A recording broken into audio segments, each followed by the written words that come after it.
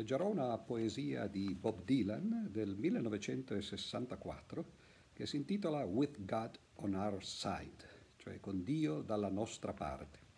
In realtà questa poesia eh, era ovviamente le liriche di una canzone omonima che eh, faceva parte di un album che si intitolava The Times They Are a Changing, i tempi stanno cambiando.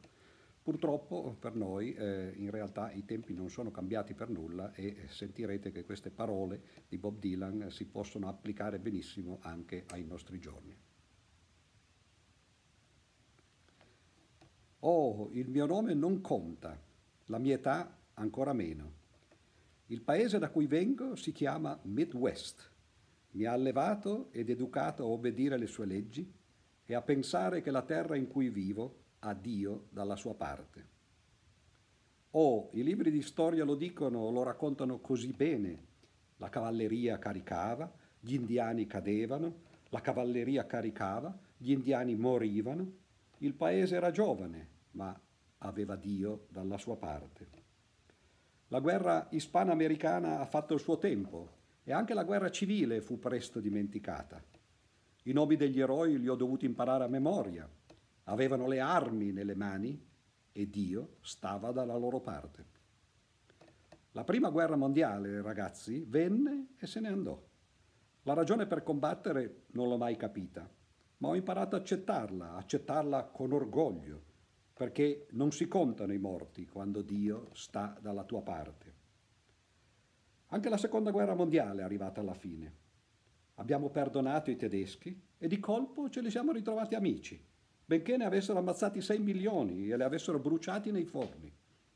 Ora anche i tedeschi hanno Dio dalla loro parte. Ho imparato a odiare i russi per tutta la mia vita. Se ci fosse una nuova guerra, sono loro che dovremo combattere, loro che dovremo odiare e temere, loro che dovremo fuggire ed evitare. Ma accetteremo tutto con coraggio e con Dio dalla nostra parte. Ora però abbiamo armamenti di polvere chimica. Se dovremo spararli, vorremmo spararli. Basterà schiacciare un bottone e il mondo intero salterà per aria. Ma non si fanno mai domande quando Dio sta dalla tua parte. Durante lunghe e buie ore ho pensato a questo, che persino Gesù Cristo fu tradito da un bacio. Ma io non posso pensare per voi, sarete voi a dover decidere se anche Giuda Iscariota aveva Dio dalla sua parte.